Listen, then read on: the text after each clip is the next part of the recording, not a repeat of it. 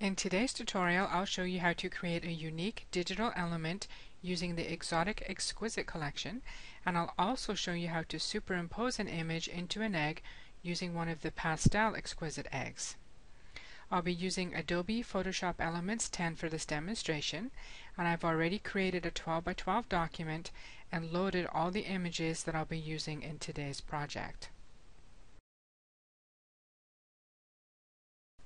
So the first thing I've got here is my 12 by 12 page and I'm simply going to just drag and drop all the eggs onto the page. So just click on them, then drag and drop as you hold.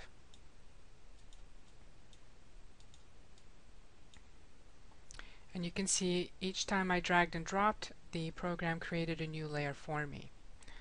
So the next step is to arrange these in the order that you would like them. I've got them like this.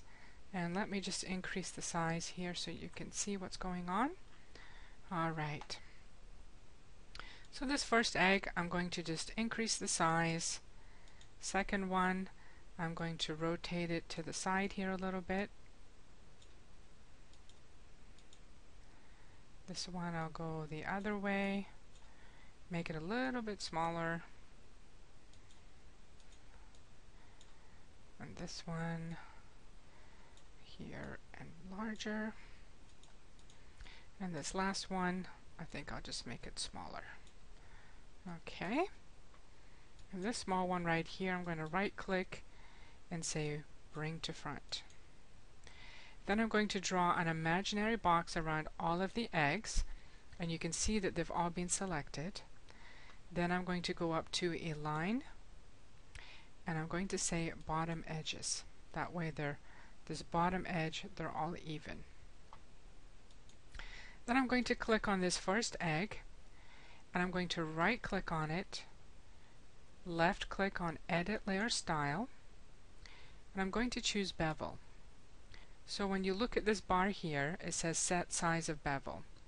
So I'm going to click and hold and as I start to drag it you can see the bevel effect take place. So what I'm going to do is drag this all the way to about, looks like 198 pixels. And I'm also going to add a drop shadow. Click OK, and that's perfect, just the way I want it. So I'm going to look down at this menu right here, and you can see a little FX next to that layer, which tells me I've added special effects to that particular element. Well, I want to add those same features or same effects to the remainder of the eggs. So I'm going to hold down my Alt key, hover over the FX, click, and drag and drop it onto the layer above. Then I'll click on that one, hold down the Alt key, drag and drop to the layer above. And I'll do that for the remainder of the eggs. Okay, so now we pretty much have our grouping done. So what I want to do now is merge all the layers together so that this just becomes one digital element. So I'm going to just draw an imaginary box around all of them. And again, you can see that they've all been selected because they're blacked out. Go to the very top one, right click with my mouse, scroll down to merge layers, left click, and now it's merged all my layers together so that I can move this around as one piece and I can resize this as one piece. So at this point you could continue to build a scrapbook page. You could add a background color to this. You, there's all kinds of things you could do to it. Uh, you can also crop it and then just save it and I would suggest you save it both as a Photoshop file so that you can edit it again or save it as a PNG file. That way it will maintain the transparent background and you can layer this onto any document that, that you choose. So that's the first tutorial. The second one is how to superimpose an image onto an egg. So I'm just going to continue to use the same page, but I'm going to double click on the image that I'd like to crop. So I've got this loaded on my page, then I'm going to go over to this lock, double click, hit OK, and that unlocks the image. Then I'm going to go over to the marquee selection, click on that, actually click and hold, and choose elliptical marquee. then I'm going to draw an, it looks like maybe, like kind of like an egg shape or an oval around the image that I want to crop.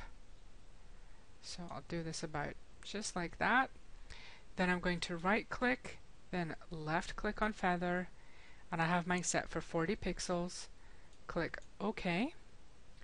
Then come down to this menu and choose Add Layer Mask. So what that does, it removes the portion of the picture that you don't want and gives the image a nice soft edge.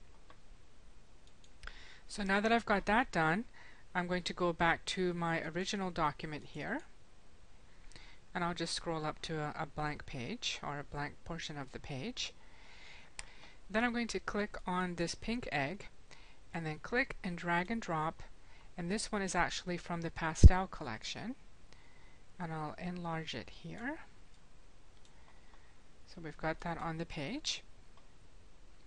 Then I'm going to click on the image that we just cropped and that selects it. Then I'm going to click and hold and drag and drop that onto the page. Then I'll place it on top of the egg and just resize it to the size I want and then click OK. Now that looks okay, but I think it actually could just blend in a little bit more. So I'll go over to the opacity mode here and currently it's set at 100% which means there is no opacity. As I go down the slider bar it looks like maybe to about 77, 75% that looks perfect. And now it really looks like it belongs inside that egg. Now again, what I want to do is merge these two layers together. So I'm this time I'm going to click on the first layer, hold down my shift key, click on the second layer, hover over the first layer, right click, then left click on merge layers. So now this becomes one layer or one element. Then I'm going to right click on this one again, hit Edit Layer Style, choose Bevel, and then I'm going to increase the size of the bevel. And let's see, maybe take this one up a little bit higher, maybe to about 244, something like that. Perfect. And I'll add a drop shadow just for some effect here. Click OK, and that shows you how to superimpose an image.